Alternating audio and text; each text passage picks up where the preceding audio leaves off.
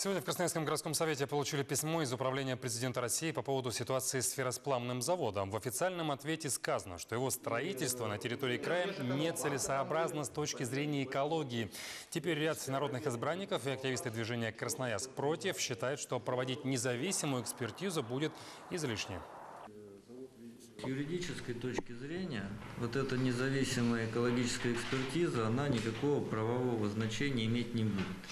Этот вопрос обсуждался широко и на гражданской ассамблее, и там были представители Министерства природных ресурсов и Росприроднадзора, Роспотребнадзора. Их спрашивали, какое значение будет иметь эта экспертиза. Они сказали, мы считаем, что ни одним законом эта экспертиза не предусмотрена.